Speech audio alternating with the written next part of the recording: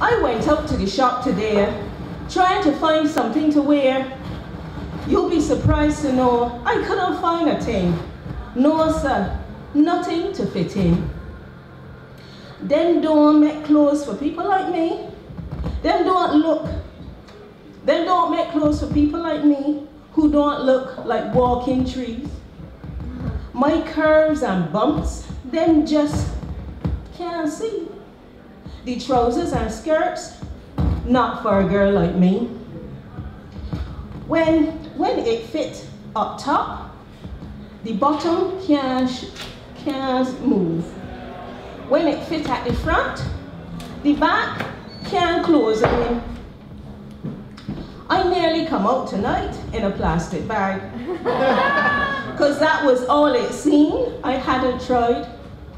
My body appears to be a dichotomy to the fashion houses on the high street.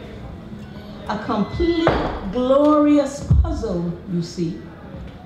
So, when them decide they're gonna dress a real woman, and that gorgeousness does come in ever size, I'll be happy to go back out on the high street again, and my distress about finding clothes will have come to an end.